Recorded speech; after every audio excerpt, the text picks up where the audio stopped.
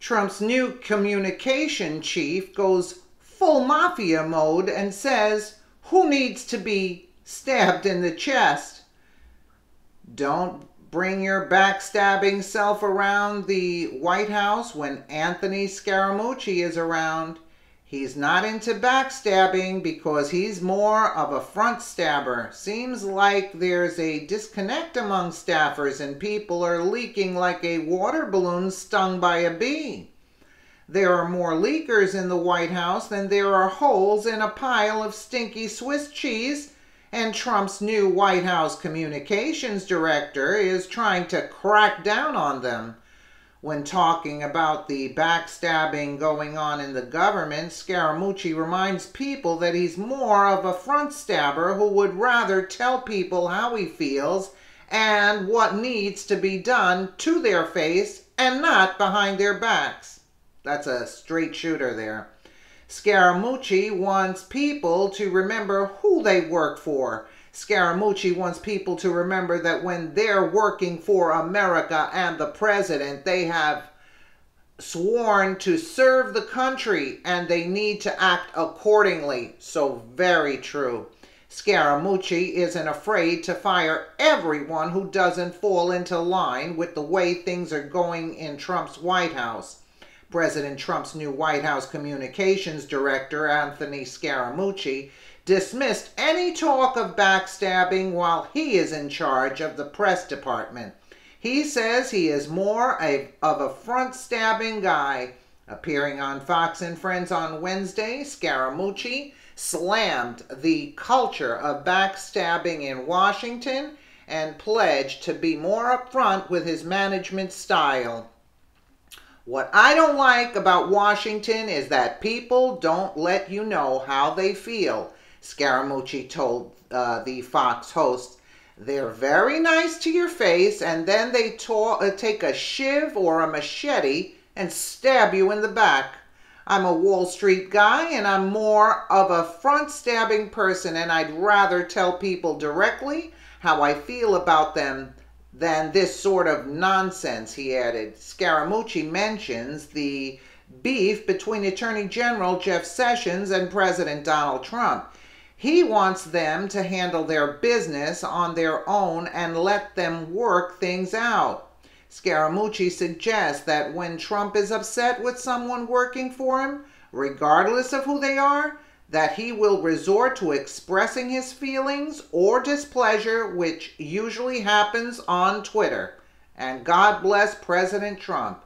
Scaramucci then reminds people to remain loyal and remember who they work for, but not be afraid to tell the president how they feel.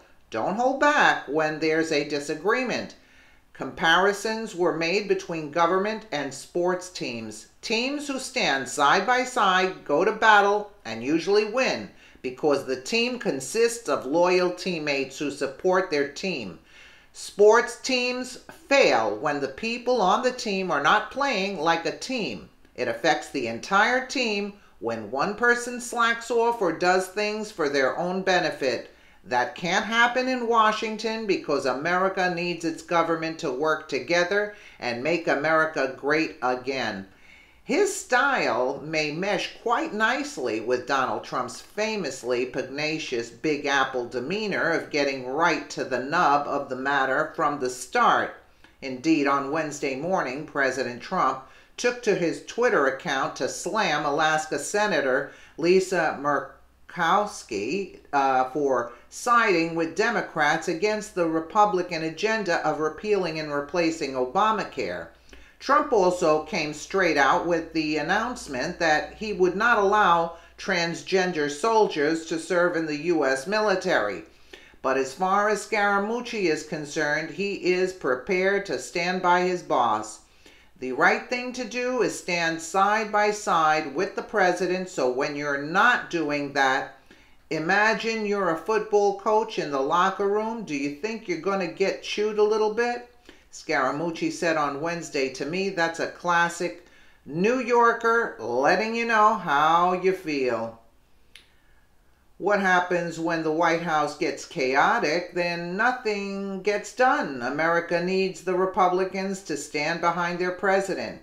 They also need the Democrats to be more cooperative and open minded. President Trump has faced backlash ever since he won the 2016 election.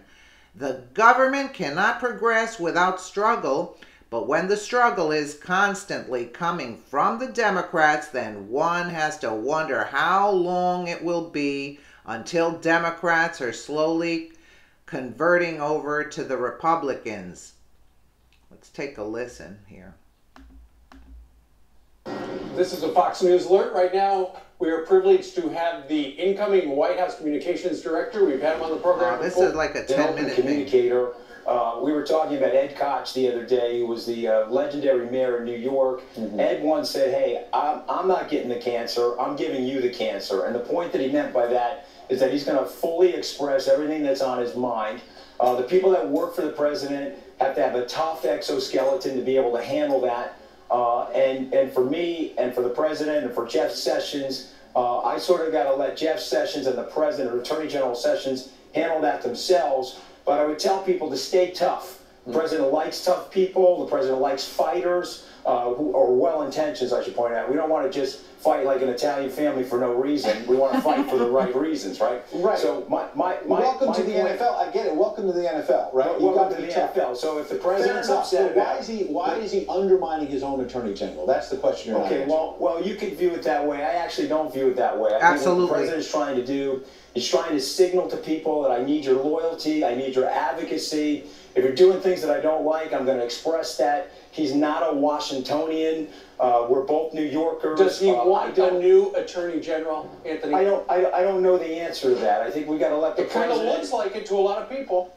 Okay, but but you know what? Mr. Trump looks not like the typical Mr. The president does not look like the typical president. Okay. Uh, he's handling himself in an atypical way for the presidency, uh, and you can see that last Yeah. night in, in, in Ohio. You can see it the night before in West Virginia. The reason why the American people love this man so much is that he's direct, direct to the Absolutely. messenger, direct to the citizen, uh, and he's also expressing his displeasure.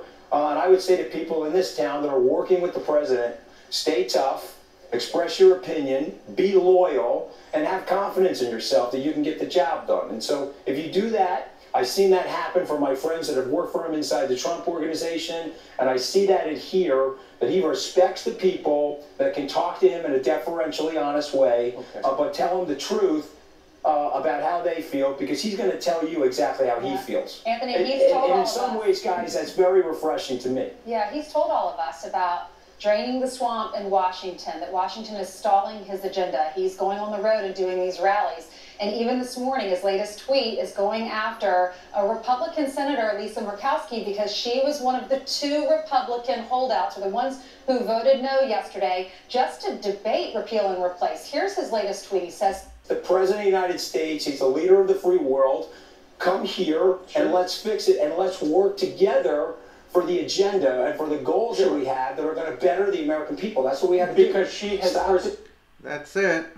Sean Spicer resigned immediately after learning that Anthony Scaramucci was hired as the new communications director. Spicer disagreed with hiring Scaramucci and literally quit his job upon learning that the financier Scaramucci was joining the team. you wonder you wonder why, right? When asked about leaks, Scaramucci basically said he would fire everyone. He also resorted to state that it was nearly impossible to stop all leaks. It seems like there will always be someone somewhere who will leak information for the right or wrong reasons. It's the leaks in the White House that could lead to a decline in progress. Absolutely. The Republicans and Democrats should attempt to work together in hopes to provide a suitable health care system in America. Minimizing leaks could maximize performance. On the contrary, the leaks are often dramatic and make for great stories. However, if we wanted a soap opera, then we would watch that on television in the afternoons. We don't want the White House to be a drama that gets nothing done. Make America great again. So absolutely true. And you know this does not uh, apply to the liberal uh, left, you know, that are that are totally out of touch with the reality of the situation and the severity of the situation. Let us know what you think in the comments below, and thank you so much for watching.